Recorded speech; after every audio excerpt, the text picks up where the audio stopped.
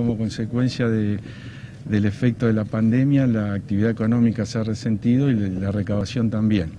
Eso significa que el gobierno tiene que reorientar sus prioridades dentro del presupuesto. Para que tengan una idea, en tres meses la recaudación se cayó 15 mil millones de pesos. ¿El porcentaje que implica esto por mes, por ejemplo? Y para que ustedes tengan una idea, en términos reales, en marzo, en, en abril y mayo, casi 20%. La recaudación propia de la provincia. Real, de las dos, de propia y de la coparticipación. Eso implica que, bueno, hay que redoblar los esfuerzos y priorizar básicamente todo lo que es la demanda de gasto eh, derivado de la emergencia sanitaria y también bueno los esfuerzos para poder garantizar el pago de los sueldos y los aguinaldos. ¿Así está la explicación del cronograma que va a comenzar el lunes cuando habitualmente era el primer día hábil del mes?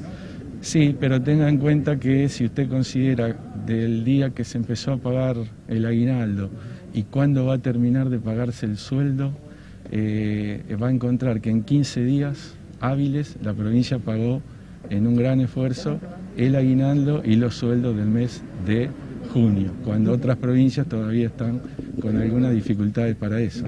que endeudar la provincia? Para eso, para eso también, para atender toda esta situación y compensar la recaudación, la provincia se está endeudando, ha tomado financiamiento de manera razonable, a tasa razonable, y este, teniendo en cuenta las restricciones que también hay en el mercado al día de hoy. ¿no?